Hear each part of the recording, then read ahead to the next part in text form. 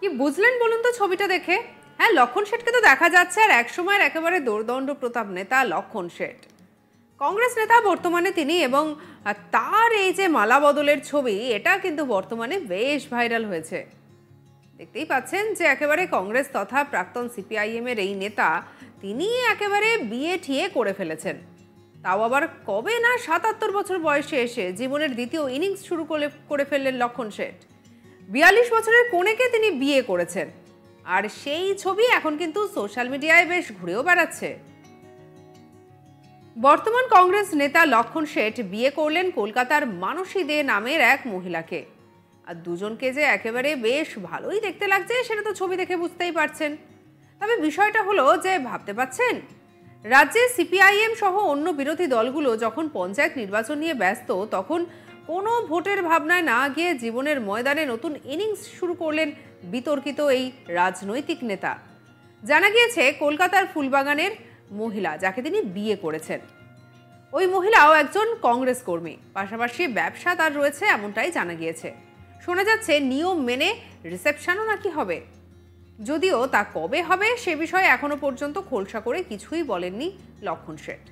বিগত কয়েকদিন ধরেই হলদিয়ার আকাশে বাতাসে কান পাতলে কানাঘুষো শোনা যাচ্ছিল যে আবার নাকি বিয়ে করতে চলেছেন লক্ষণ শেঠ। অবশেষে সেই জল্পনাই সত্যি হলো।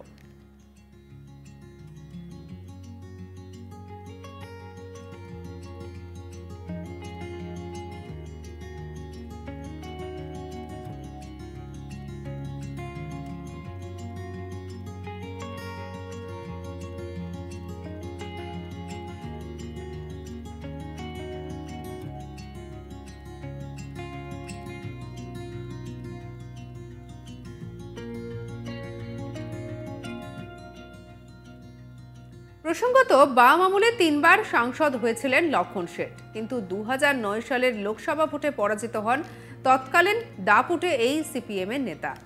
রাজ্যে পালাবদলের পর দু হাজার চৌদ্দ সালে লক্ষণকে বহিষ্কার করে সিপিএম। আর এরপর নিজের একটি দল গঠন করেন তিনি। যদিও পরে নিজের তৈরি দল ছেড়ে বিজেপিতে যোগ দেন লক্ষণ শেঠ। দু হাজার আঠারো সালে বিজেপিও তাকে বহিষ্কার করে। এরপর দু হাজার উনিশ সালে কংগ্রেসে যোগদান করেন তিনি। লক্ষণ শেঠের প্রথম স্ত্রী ছিলেন তমালিকা পণ্ডা শেঠ। উনিশশো উনআশি সালে তমালিকার সঙ্গে বিয়ে হয় তার। উনিশশো সাতানব্বই সালে হলদিয়া পুরসভার চেয়ারপারসন নির্বাচিত হন তমালিকা। সিপিআইএম এর লক্ষণকে বহিষ্কারের পর দল ছাড়েন তমালিকাও। দু হাজার পনেরো সালে স্বামীর তৈরি দলে যোগদান করেন। তবে শ্বাসকষ্টজনিত সমস্যায় ভুগে দু হাজার ষোলো সালে মৃত্যু হয় তমালিকার। তবে তার এই নতুন ইনিংস নিয়ে জল্পনা তৈরি হয়েছে রাজনৈতিক মহলে।